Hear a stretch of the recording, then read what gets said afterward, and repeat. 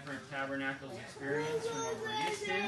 But uh, we're going to make the best of it, and I cannot wait to the with all of you. Uh, we have Harvest with us tonight. We have, yeah, Chris Clinch. Um, this guy taught me more about guitar than any person I ever know, and I only took one lesson from him. So I showed you how good he is. Uh, we have Pastor Mike Griner here, probably my favorite preacher in Armstrong County. For tonight. And um, we are we are continuing our ce- whoa. We're continuing our celebration, and um, I just want to read a scripture as we begin and just pray. I encourage you guys inside and encourage anyone watching this. This is a festival of joy. And we, we that know Jesus, we have the greatest joy of all. Amen? And so we should be the most joyous people on earth. That's not always what we see inside the church, but it should be. And so uh, let's let's drink deeply from the wells of salvation. This is a scripture from Isaiah chapter 12.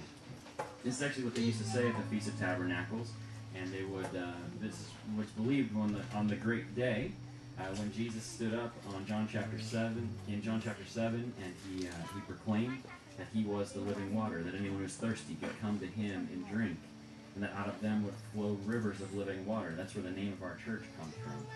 Well, there was a ceremony in the Jewish culture where they would read Isaiah chapter 12, verse 3, and they would pour this water out on the altar, and it was this solemn moment. When they poured out the altar, the crowd would just burst out in celebration.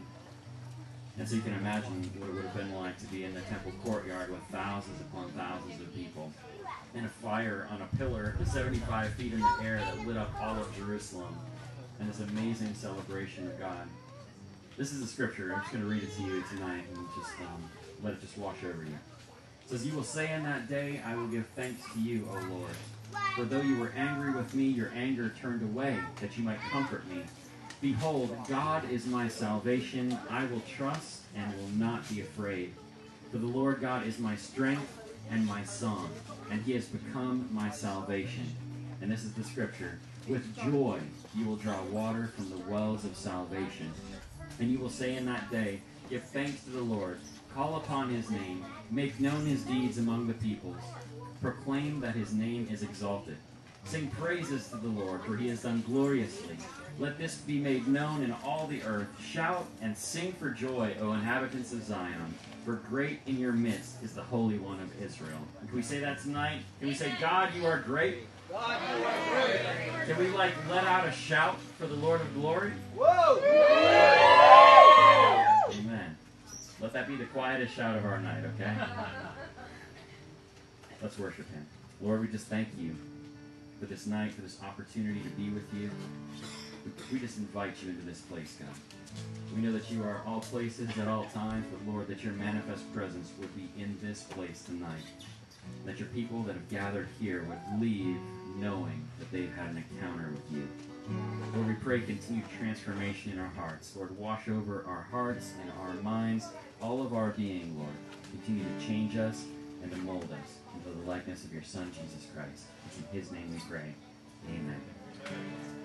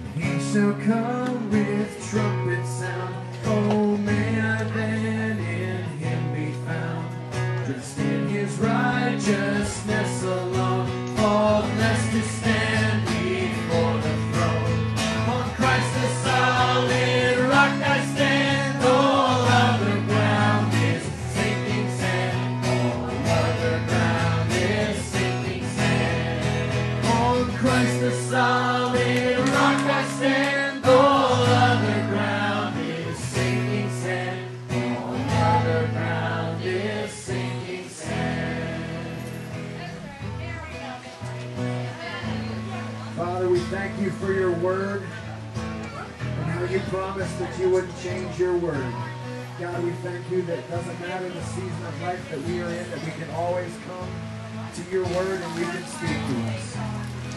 We ask that you speak to us through your word tonight. In Jesus' name.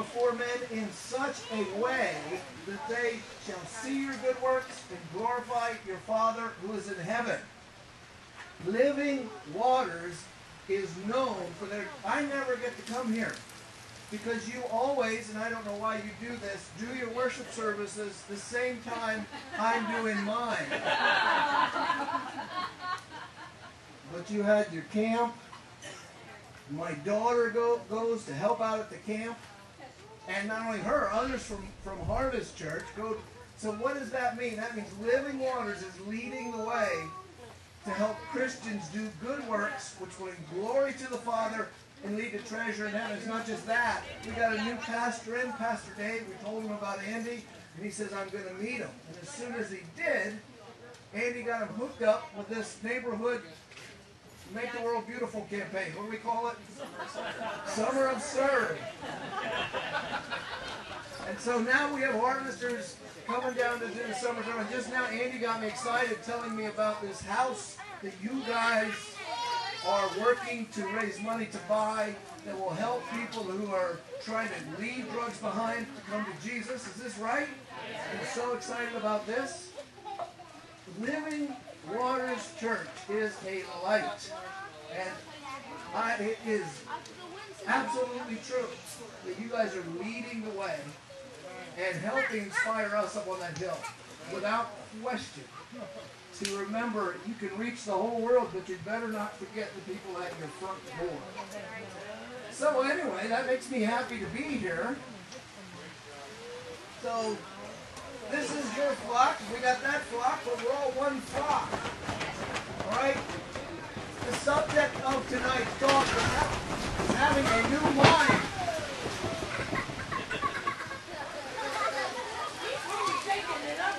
Hey, don't be afraid. Whenever there's a mighty wind, tongues of fire could be next. Hang in there.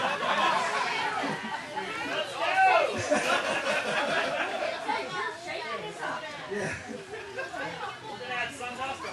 Yes. That'd be something. Jake, send me down here with you,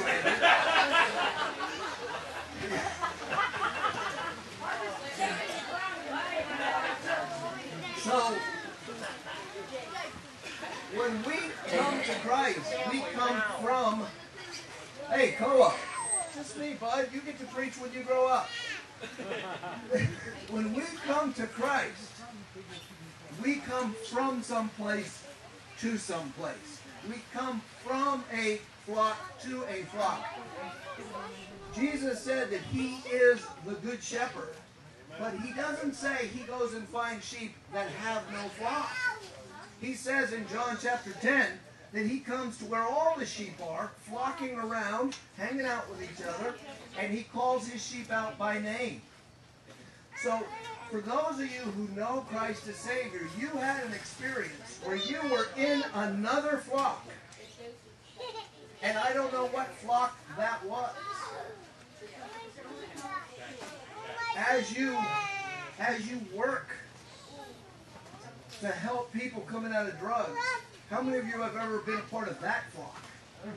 Um, it has its good things, it has its camaraderie and its friendship, and it has its bad things. It's completely self-destructive, and it robs you of ambition and of life itself.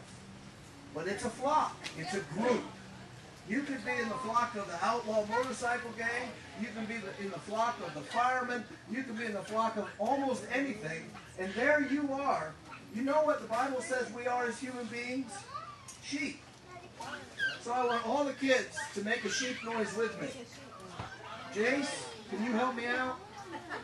Who knows what noise a sheep makes? That was of rough. That was kind of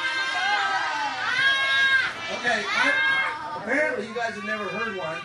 So I'm going to do one for you kids, and you're going to copy me. Ready? now go ahead. So, okay, we're done with that now. So, we are sheep, and we're in a flock. And we're, we're sitting there eating our grass and hanging out with the other people in our flock who also are lost and don't know Jesus. And we're chewing the grass because that's all sheep pretty much do is chew grass. And we're doing nothing but chewing the grass. Then Jesus comes and sees a whole bunch of sheep out there, and you know what he does? He calls our names. He, he says, Monica. Monica, she was lost, and she was in sin, and she was eating her grass. And she hears the Lord call through his spirit, Monica. And she goes, huh? and then she turns and starts to walk away.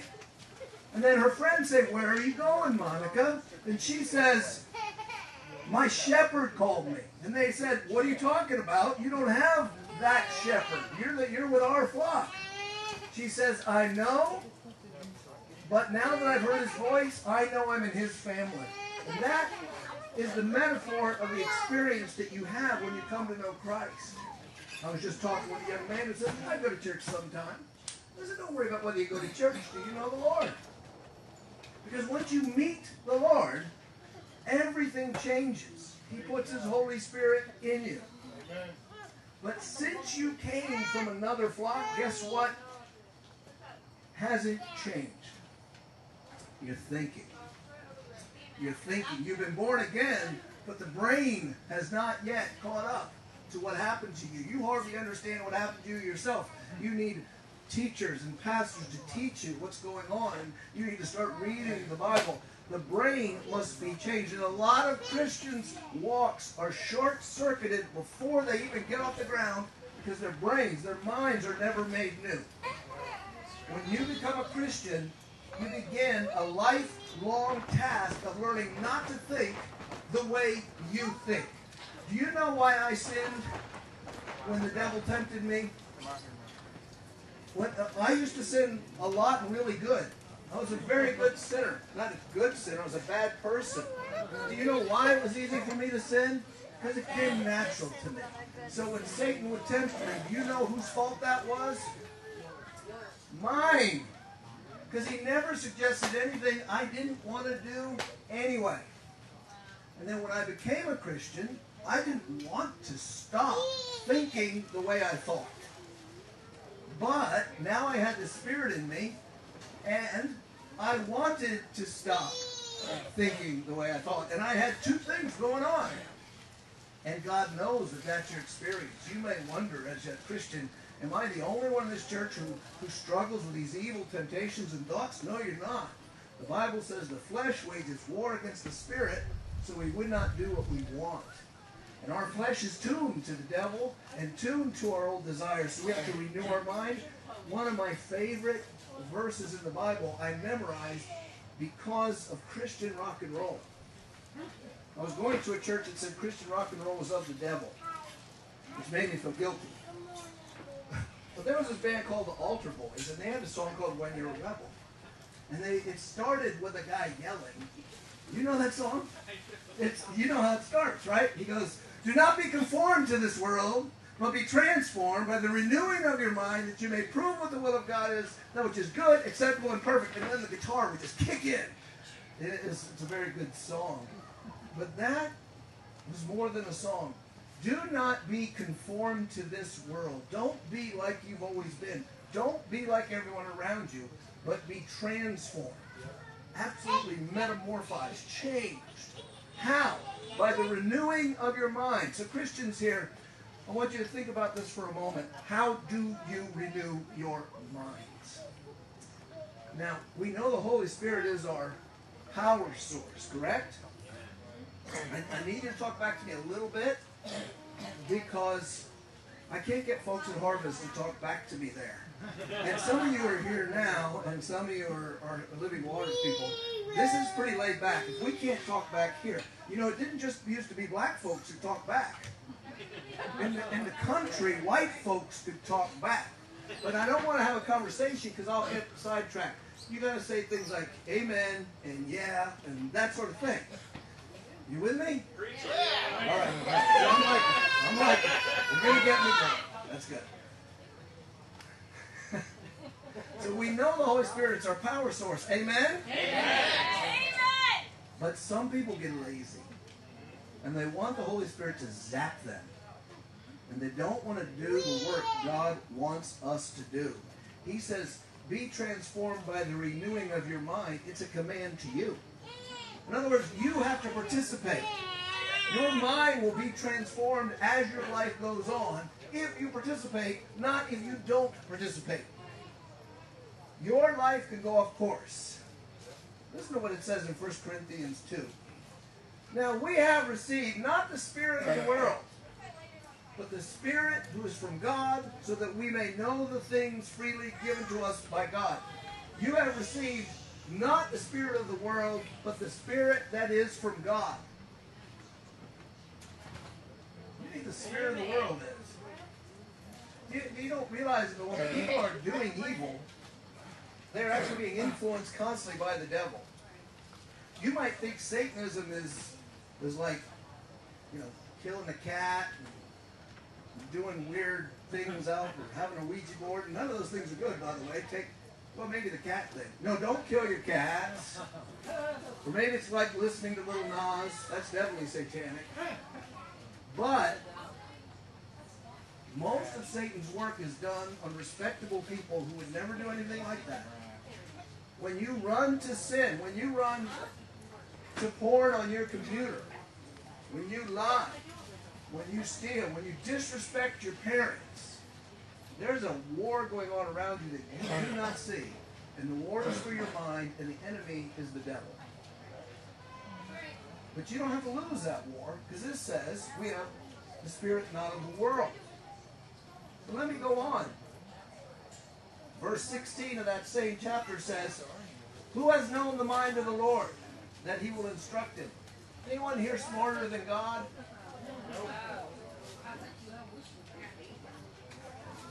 God never sins. He never does wrong. There's a song by John Prine, and I love John Prine's songs. I had to stop listening to it. Why did I have to stop listening to it? Because in the middle of it, he talks to God, and he says to God, You forgive us, and we'll forgive you. And I thought, that's blasphemous. You do not say to God that he needs to be forgiven. He, he doesn't sin. But you know what else he doesn't need? Advice. What did he say to Job? What was the whole point of the book of Job? Job was a good guy. He was a better Christian than me, and he didn't even know the name of Christ. He was probably a better, more righteous, faithful person than you, most likely. I mean, he's Job. He's one of the big shots. And yet, all these bad things befell him. So that all the rest of us through time will learn the lesson in the book. And what is the lesson that God told Job when Job said, Why is this happening to me? I've examined myself. I can't think of a sin I'm doing to deserve this. The people around me know that. I'm not trying to provoke you, God. I just want to know how come you'd let this happen to me, a righteous person? Do you know the answer he got from God? It's not your business to know. I now you might think that's not fair. Will God pick on me and not tell me why? No. I'm going to give you the secret of Job and the secret of why does God bad bad things happen to me, right? And this is the absolute truth. And you can challenge me. You don't have to accept it. Test it on Scripture. Test test on what you know about God. The reason God lets horrible, terrible, heartbreaking things happen in this world, in your life, and in my life, is because what he's doing will turn out with the most people coming to know Jesus, and it's the best way to do it. You may say, well, I don't understand how a person hurting, like Job, could be the best way. And that's where God says to Job, were you there when I made the stars? You don't know how to make stars either. Were you there when I made made elephants? No, you don't know how to do that either. I don't need your advice. One of the first things to learn if you're going to renew your mind is you're not trying to renew God's mind. Very often I've heard people say that God just wouldn't want me married to this woman. She's awful. she don't cook good. She yells at me. She's always offended because I don't brush my teeth for a week or two. And this other woman loves me just like I am. Maybe I married the wrong person. Maybe the, the Lord wants me to go there. And then they start talking to God about how this. I've even heard pastors say God wanted them to divorce their spouse. Now, no one likes divorce. Sometimes we're, we're stuck with it. But when you start giving God advice, well, this is all right. This is all right. I got reasons why. It's all right. There's no longer who has known the mind of the Lord to instruct him. You're telling him what's right and wrong. I've seen Christians go that way with gay marriage. They say, well, maybe we were wrong. Is that fair? Why can't two men who feel this way be married? It doesn't make sense to me. Well, does it matter if it makes sense to you? No. The American way is rules only count if they make sense. By the way, I believe I'm a true American. I think rules need to make sense. And I have trouble with rules that don't make sense. I let the people of Harvest know this, and they still haven't fired me for it. But when you used to go into those parking lots, and it would say, for expecting mothers, they had such good parking places. You ever seen them signs? They have a store. And then I'd have one of my daughters with me. They'd be like 9, 10, 11 years old. And I said, we're going to park right here, honey. And they'd read that sign, and they know I'm a pastor like Dad. It says for expecting mothers. I'm like, well, you're a girl, aren't you? yeah, but I'm, I don't even have a boyfriend. And I'm 11. And I'm like, I expect when you grow up, you're going to be a mother. Let's go. Because rules need to make sense to Americans. It's the way we are. That's the whole deal with this vaccine thing. The government don't like it, but Americans, and I'm not, well, I've been vaccinated. Some people say, well, you must be of the devil. Well, I don't mind. But I don't care if other people are. Do what you got to do. American government doesn't like it, but they've created a nation of people who say it's got to make sense. But unfortunately, sometimes we bring that into God and say God's rules only matter if they're what I want to do anyway. With pot becoming legal, trust me, one thing Andy's going to have to preach about is you're not supposed to get stoned. I'm not. I was talking to a young lady and said, you know, if you're going to come to Christ, He's going to have you give up the sweet cheap, Yep. right? That pot. And she says, but I have a medical card. I don't care if the president himself gave it to you. God says, no, you, you're not to take pharmakeia. It's occultic. You just take a, a, a, a chemical just to alter your state. But you'll see Christians doing it. You will see it. You'll see churches that say we're a marijuana happy church as soon as it goes legal in Pennsylvania. Why? Because of this verse is ignored. Who has known the mind of the Lord that he will instruct him? And the next verse says, We have the mind of Christ. Okay. Now you have the mind of Christ. And I'm losing my crap. Well, it doesn't, I'm not hurt. This is Andy's flock. I'd be disappointed if I showed up too.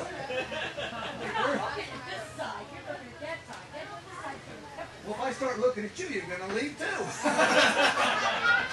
it's happened to me with women my whole life. you might say, I have the mind of Christ, and again, you could get lazy. Is the Holy Spirit in you if you're saved? That wasn't a trick. You can talk back. That's an easy question. The answer yes. You don't have the Spirit, you don't have Christ. Well, does the Holy Spirit tell you what the Bible says? That was a trick question. I'm going to let you try again. Does the Holy Spirit tell you what the Bible says? Trick question. I'll give you one more chance. Does the Holy Spirit tell you what the Bible says? Good answer. You have to read it yourself.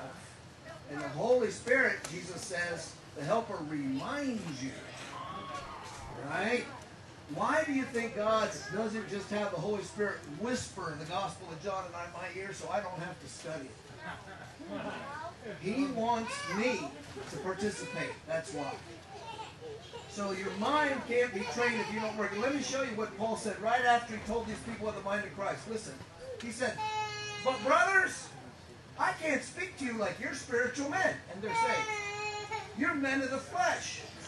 You're like babies in Christ. I gave you milk, not solid food. You're not able to receive it. You're still fleshly. There's jealousy and strife among you. So there's Christians in the book of 1 Corinthians who have the mind of Christ, who have the Spirit of Christ, and Paul says, you have no idea what the mind of Christ is saying to you. Okay. You with me so far? So how do you grow a transformed mind? How do you grow a transformed mind? Well, of course you read, you've got to read your word. That's actually my last point, but I may not get there, so. Say it now. The transformed mind, get this, Living Waters Church is the perfect place to be discipled, to have a transformed mind. Why is that? Because the trick of a transformed mind, you're not going to get. I, I don't even want to tell you. I'm going to hold in suspense. No, that isn't it either. He doesn't even talk to me.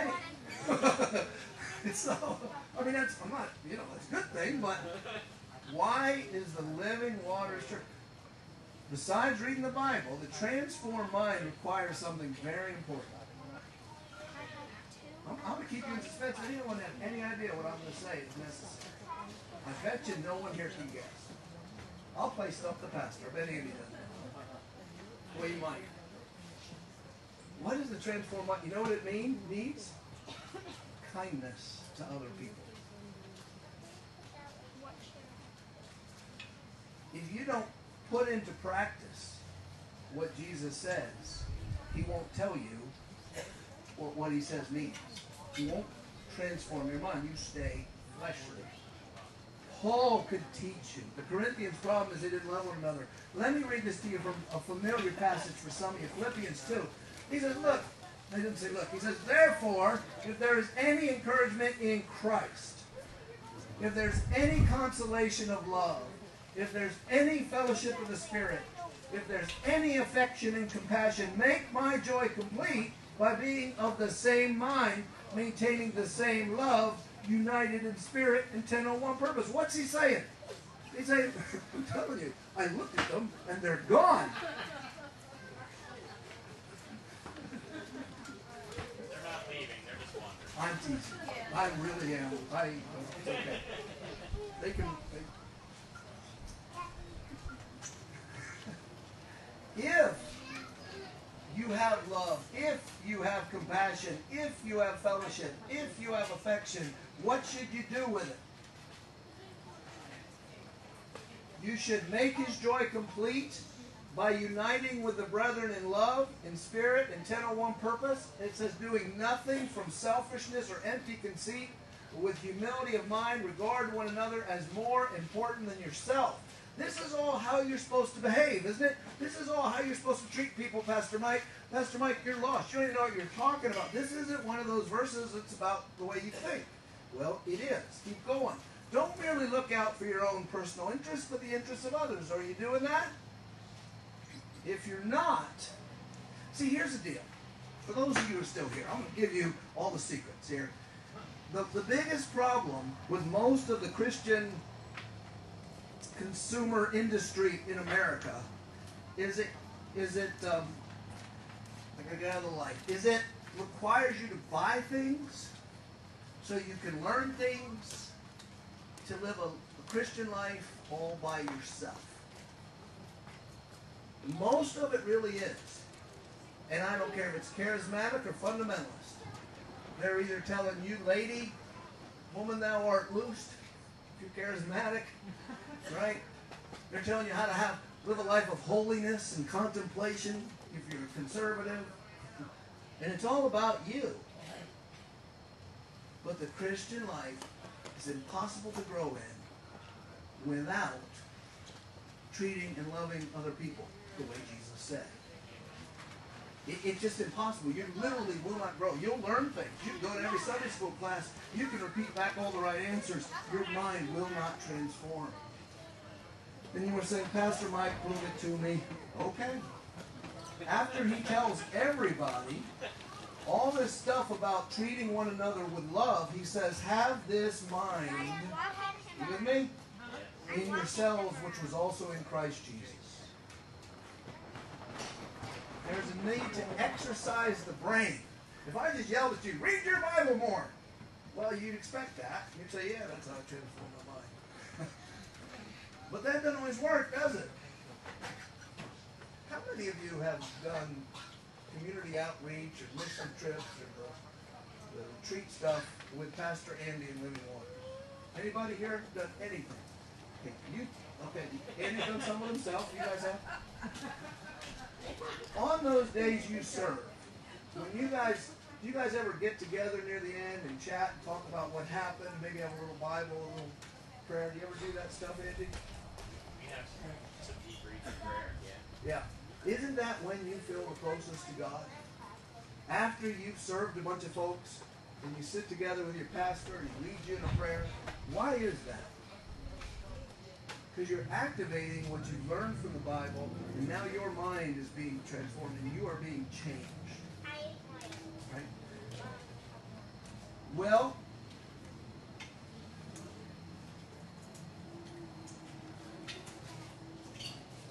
I'm going to go give you one more. I've got a few more, but I'm going to slow it down and give you just one more. Right now, everybody in the world is scared of everything. I hear a lot of Christians who are very concerned about tomorrow. Are you concerned about tomorrow? None of you are. Well, maybe I don't need to say this part. well, that's the answer, isn't it, sister? So there, there is a fear of what will come next.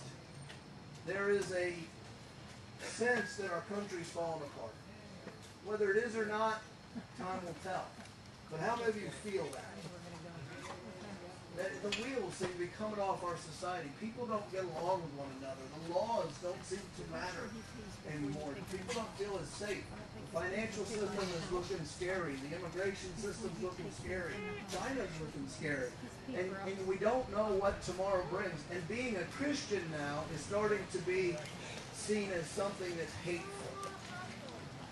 Not just your Christian stand to be a Christian is hateful.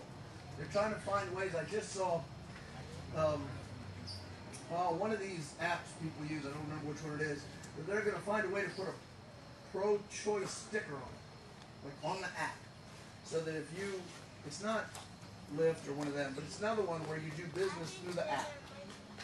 And if you can identify yourself as being pro-choice and against what happened in Texas, the pro-life law, and I was thinking, why would you do that? Well, the reason you do it is to show that you don't agree with the Christians. Your morality is the morality that you think is, is what the world wants you to have. But it's not so much Christian. I mean, what if it was your child that was having that you? I like that you're getting into it, sister. I agree with you. Any human, what you're saying is any human being should see that it's a baby. Right. But they don't. Why don't they? Because the God of this world has blinded the eyes of unbelievers. But think about this. If they start marking things that show whether or not, they have nothing to do with consumerism. Airbnb did this a couple years ago. They tried to say, okay, as a policy, if you have a house, you can't say, I don't want two women sleeping in the bed in my room when they rent it. Right? So they're starting to identify us as wrong, not just someone they disagree with. And there's people getting scared about that. These vaccine mandates are insanity. Over in Australia, they're beating people up and taking them to jail, and people are afraid of the government. The mind can be overwhelmed with all the knowledge, all the details, all the data coming in, can't it? You got smartphones. If you have a kid with a smartphone, can I tell you something? You've made a mistake. Your kids won't like me for this. Take them away, especially if it's a boy. They won't, especially if it's a girl too. Okay, if you have a girl or if you have a boy, you've got to limit that usage. Boys will look at porn, and women will destroy their souls on social media. They're too young to handle it. But then you think of the adults. You're hooked. The dopamine hit. You got to hit the Instagram. You got to hit the Facebook. You got to hit Fox News. You got to whatever your favorites are. You check it all the time. You're always you stop. Well, I'm gonna look at this. You, you know. I hope people think it's because I'm a businessman, but no, they know you're just looking at Facebook. And your mind becomes troubled. There's so much noise inside your head. What's the avenue to stop the noise and the fear? Anxiousness is when your emotions, responding to your thoughts, start to overwhelm your brain.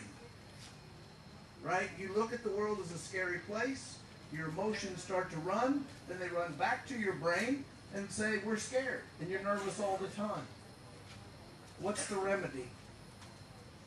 Believe it or not, God is the remedy to, in the renewed mind. Let me remind you of a text be anxious for nothing. That's not don't worry. It can be hard to not worry. It's not saying that. It's be anxious for nothing. Passive. Don't let yourself spin out on what's causing you fear. But in everything, by prayer and supplication with thanksgiving. By prayer, with supplication, that means asking for what you want. With thanksgiving, let your requests be made known to God. The response that you Christians have at your fingertips and need to practice and then teach to the people who are lost. and say, hey, I know a way of peace. You may not be scared. Hopefully you're not. But your neighbor is. Your neighbor is. Neighbor we don't get Trump in there and shoot us some liberals. Say we're going and he's afraid. He's afraid that he's going to get marked, tagged, and stuck in a FEMA camp. You got it, it, seriously, you have people saying, it ain't about me, it's about my kids and grandkids, I worry. I want to tell you it's not godly for us to worry about our kids and grandkids' future. All right, Chris, I, I step on the toe, I do it out of love to set you free. It's not God, it's idolatry. It puts kids before God. Want you remember when you were a kid, your grandparents worried about the world you inherited. But you're raising little champions who are going to be made for such a time as this. Amen.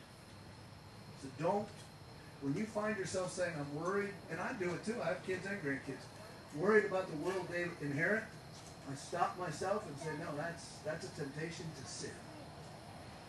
God will be in the world they inherit.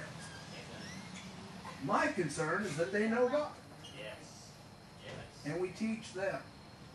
Be anxious for nothing, but to respond to everything by prayer and supplication with a thanksgiving. Can you be thankful all the time? That's a choice. You know what Thanksgiving is? It's a posture. Does that make sense? You know, like your body, you sit a certain way. It's take it's it's a it's a it's a mental posture you take with God. Thanksgiving you don't always feel. You want to feel it. Isn't it a great moment when you feel thankful? I don't feel thankful near as much as I want to, but I feel feel thankful a lot more than I used to. And maybe that's because I'm getting old. I don't know. You two old timers in the back leaning against the wall. Yeah, you too. Is that true of you too also? Do you feel more thankful as you get older?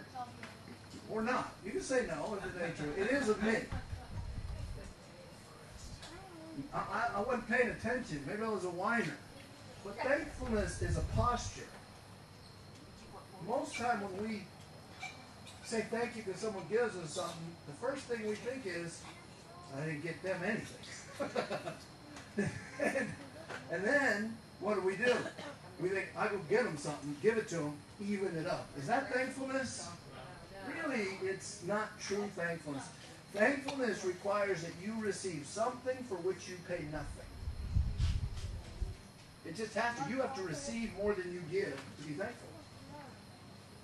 So the posture around God, if you say to him, God, I can't believe how horrible my life is. I can't believe it. I got bills and I can't buy all the things I want and everything's going to happen and Joe Biden's going to come and kill us all.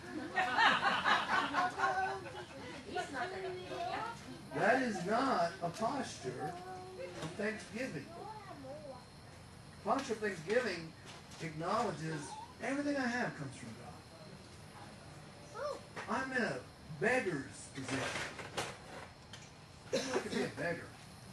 Did you know Martin Luther, the great reformer's last words were, we are indeed all beggars. And he's right.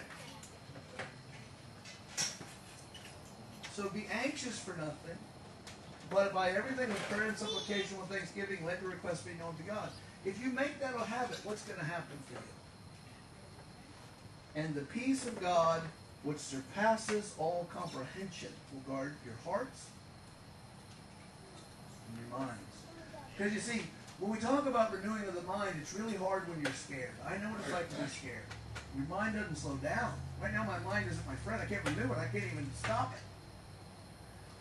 God says respond getting that posture of thankfulness and start laying it before Him. Well, will the peace really come? Will it work?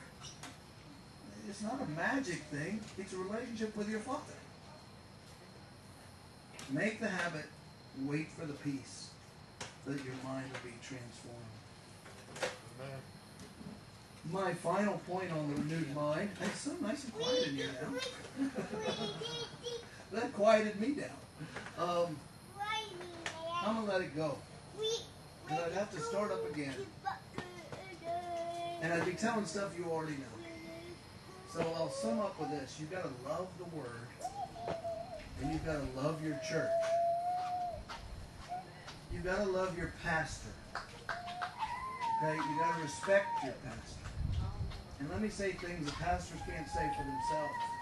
The Bible says that it's your job to obey and honor him. Amen.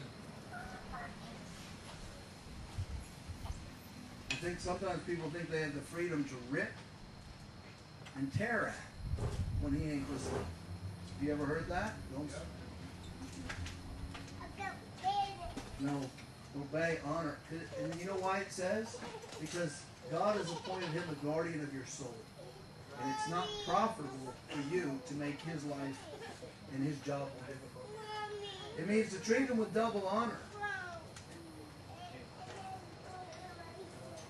It is to your praise if your pastor has his financial needs met.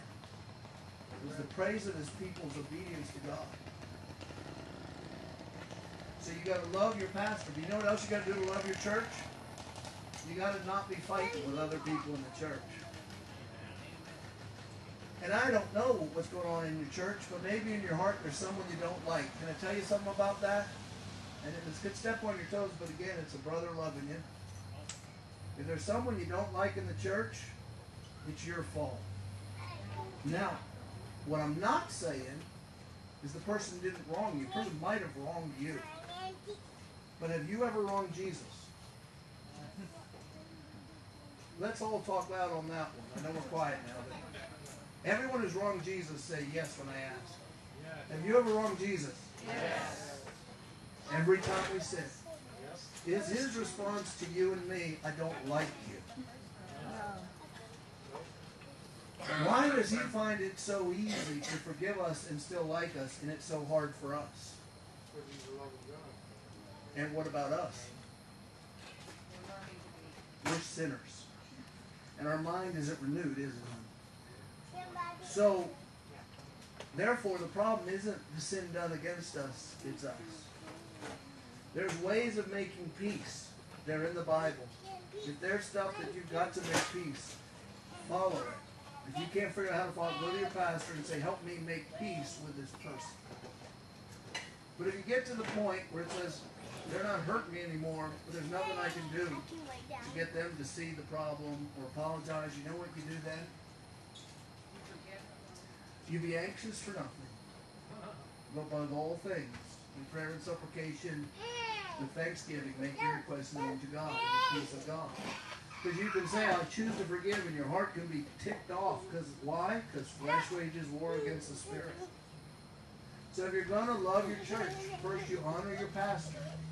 By the way, I'm not saying that the, you know, you honor if he's doing wrong. But you're, I'm assuming your pastor is obeying God, and as far as I know, you've got a great pastor. Second, you live with, at peace with one another. Third, you treat everybody in the church as if they matter equally. You can't love them all equally because you're finite. And God gives you the order. If you're married, you love your spouse first and most. And if you got kids, you love them next. Yeah, she's touching her husband. Husband, love her the most. You're finite. You can't give equal time to everybody. But nobody doesn't matter. Everybody matters. Every bouncing kid filled with testosterone that can't hold still, which is normal. to every elderly man, like Arnie over there. Um, guys, I love you. Arnie knows me. He knows I love him. You gotta, now I feel bad. Did I say that? It was a joke. Known Arnie for a long time. That's why I picked on him. Those two old guys over there looked offended when I called them two old guys. So I'm never going to call you two old guys old guys again.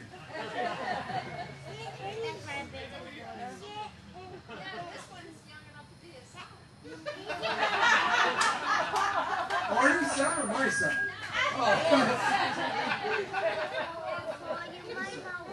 Let's call him an old guy him a really old guy. Okay.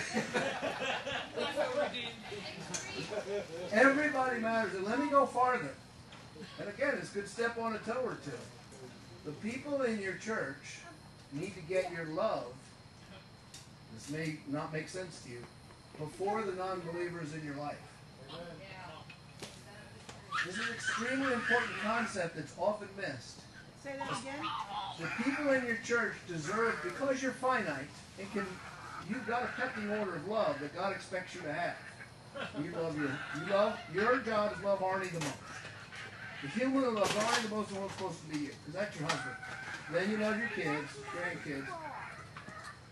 But then you got to love everyone in your church as best you can in your finiteness. And the next in priority is the lost. That may not that, that may not seem to make sense because Jesus loved us when we were yet sinners. So let me explain why practically that's what you got to do. If you don't major on loving one another, you cannot do John 13, 35. By this all men will know that you are my disciples if you have love for one another. Secondly, when we go out and do good deeds and preach the gospel and bring them into Living Waters Church, we're bringing, we're, we're adopting them into family.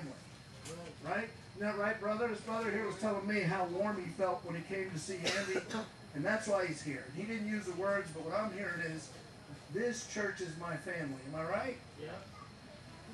We, if you adopt someone into your family, what if you've got this really good family and you don't ever adopt anyone in? It's just for you. I'm not saying that. What I am saying is this. What if you got a family that they all fight, they all throw forks at each other, they're all selfish, they all lie and backbite, and then you go out and tell somebody how great Jesus is, come join our family, because of the Holy Spirit and the gospel, they agree Jesus is awesome. They can't wait to come join the family. And the family ain't that fun. They're not that nice. Many churches do that. They'll do a bus ministry, pick up a bunch of kids from all over town, bring them in, and then treat them like crap. so if you're going to love your church, you, you honor your pastor, you make peace with one another, you treat everyone as important, loving as God commanded you, then you've got to go out and seek the lost. Because they are your family too. You just haven't met them yet.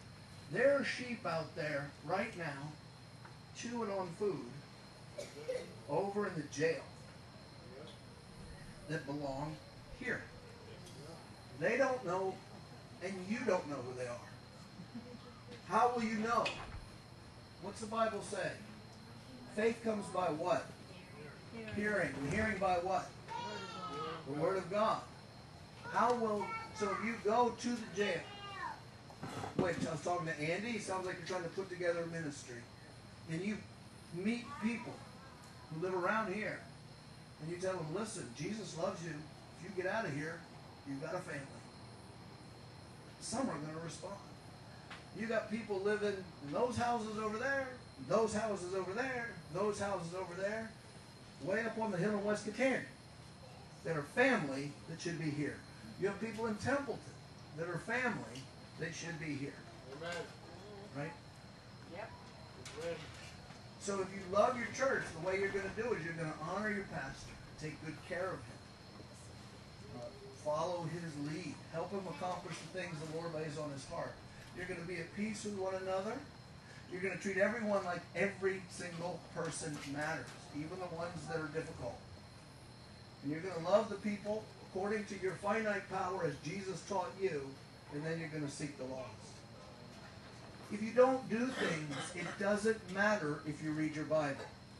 But now let me turn that over. If you try to do all those things and do not learn your Bible, you'll lose your steam. Because what the Holy Spirit works with in you is the Bible you put in your mind. And so we're back to where we started. You put the Bible in your mind and you do it. And that'll transform your mind.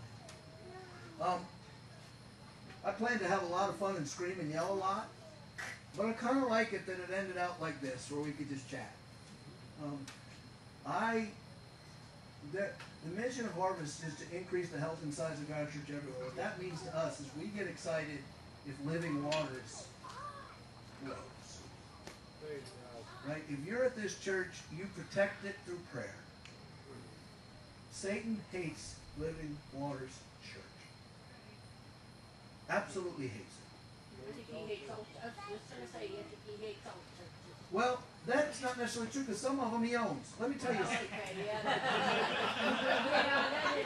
Let me tell you a story. There was once, there was once this old, old country church, and the pastor was up there preaching away, and he was giving them the fire and the brimstone like he always did, and, and they, they were scared, scared, scared. What they didn't know is that the, the head trustee was down in the basement fixing the boiler. And as he, the pastor, was saying, and if you don't stop your sinning, you're going to fall right into the fires of hell. And when he said it, the boiler blew up. and the people didn't know it. And the smoke, they hear boom, and smoke and light come from the cracks in the floor, and the smoke comes up. And all the people start to scream, Wah! And they run running out of the church saying, Satan's going to get us! Satan's going to get us! And right at that moment, the the trustee, comes to the door and pushes it open. He's completely covered with black soot. His hair is standing up but isn't frizzled off. He's covered, covered in coal dust and black soot. And he, he, he, he's coming up and he's like this. And someone says, look! And in a panic, they thought, that's Satan. And then the rest of them run out of the door. All but one little old. And she didn't leave because she couldn't leave. Oh no. She's a strong woman. And when that man comes marching up, he hardly knows. His head's been banged. He don't even know what's happening. And that lady sits up from up you, and she plants her cane in the ground. She takes her Bible in one hand. And she looks at old Satan, who she thinks it is. And she says, You listen to me, old scratch. You don't scare this person. I've been in this church for 60 years. And in all that time, I've always obeyed you. So you got no problem with me. Because some folk, not every church is hated by Satan. He's got some churches where he, he sends all the demons, they go there to get fired up. But Satan hates living waters. I'm certain of it. I'm certain of it. I had too many good reports. Okay, so I've never been to Living Waters Church. I knew where it was, was the old place. When Fred Kyson started it, we were cheering him on. We helped a little bit, but not much. He did all the work. We gave him little stuff. Then I heard of Andy. Then I met Andy. And Andy's serving us. Us. He came up to Harvest and talked to me and told us ways we could help serve the Lord. And then he does it. And then people tell me the stories. Then I see him online. Then my daughter tells me about how great it is. The, the fragrance of good works comes from here. Right? Be encouraged. Keep that up. Let your light shine in such a way that they see your good works. There's a way to do it, and they don't see Christ. But the name of Jesus is here. Satan hates his church, but he's a defeated foe. He's a defeated foe. So, with that said, it looks like the fires of Israel are burning behind us. I'm going to end with a prayer and invite my buddy Chris to come back up. And I thank you guys for listening to me. It really is an honor to be here. Um, I know the kids get a little rambunctious, and I don't mind because they're kids. That's their job. um, but I'm really glad to have a time just to chat, as it turned out, instead of a sermon. That's you probably hear enough sermon, and um, and you got a good teacher for that anyway. So let's say a prayer. And Chris, the Bible says in Hebrews 13, 15, ready, listen to this. It's very Hebrew. Let us continually offer up a sacrifice. You know, you say, well, we're, wait, wait, we're in a covenant. We don't kill animals. No, no, no. Let us continually offer up a sacrifice of praise. Amen. Well, what's that? Fruit of lips that give thanks to his name. Hebrews 13, 15. We're going to do that so as he gets up here and we pray. Father in heaven, as uh, Moses took all the Hebrews into the wilderness, the one thing they did not have was a godly mind. And their minds were filled with the ways the false gods of Egypt. And you had to take them up on a mountain and said, go down there and teach them this is the law. And tell them to think about it every day because they got to change the way they think. We've learned a lot since then. Jesus came and showed us grace. But that fundamental principle is still the same. As we live in the Egypt that is America, filled with its false gods and idols, it's easy for us to get sucked in and have our minds filled with ways, new and better ways to sin, fears of conspiracies But you said do not call conspiracy what they call conspiracy and do not fear what they fear. I pray that the angels protect this geographical spot on the earth where your people dwell. Yes. And that the devil not have a foothold. Yes. That you carry through these people through the suffering you have for them, for your glory, and through the glories you have for them on earth. That they do a mighty works with every hand that reaches out with a cup of cold water. With every mouth that says, Come here, honey, I love you. Let your spirit be glad in them. Give them glad hearts. And fill these streets with praise. Lord, in the name of Jesus, I ask for many brothers and sisters who are right now chewing the cud and in danger of eternal hell, that they come to know Christ through these brothers and sisters and come join them and be part of this family. We look for your hand to do it in Jesus' name. Amen.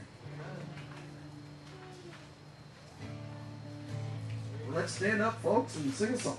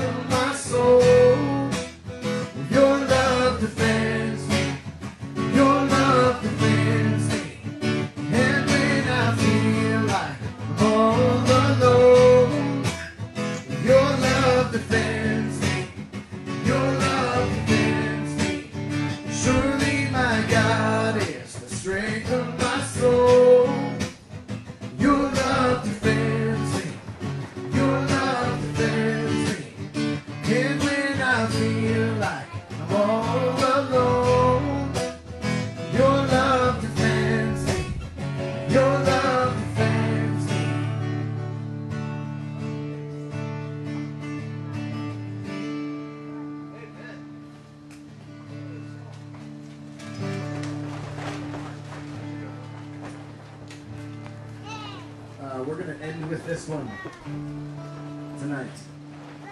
And uh, so as we sing this, it's about building God's kingdom here. We live in this tension of God's kingdom being here partially. So it, it's it, already, but not yet. There's still more to come, but right now, we're, our goal since the beginning of time is to build God's kingdom on the earth. Build your kingdom.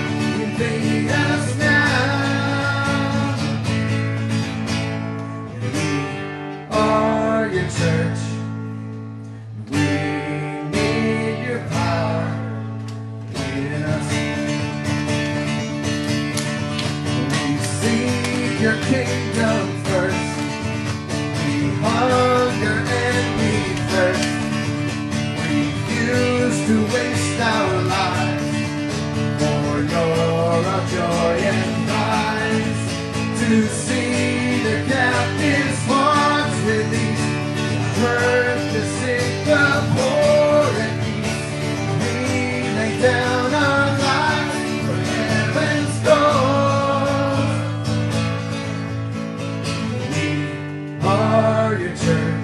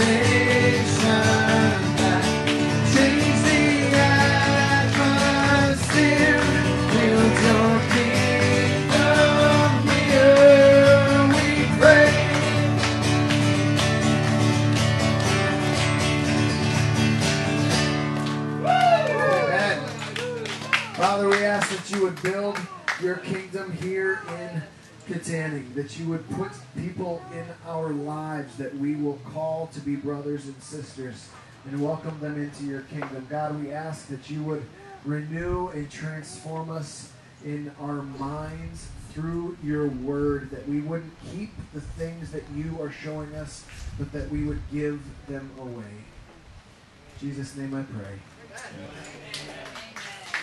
Amen. Amen.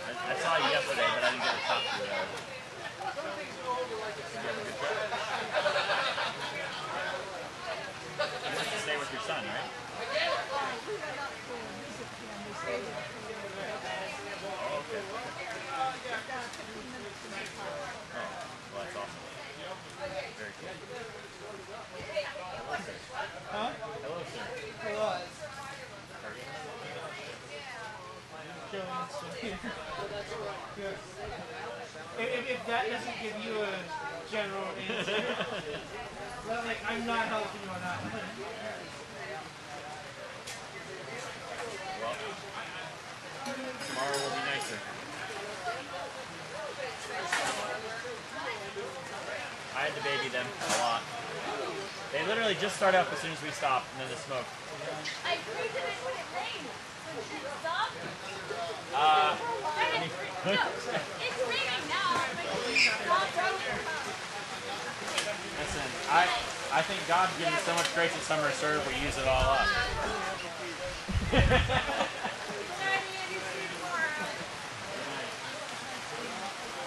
It. This is really good, actually. It kind of fun.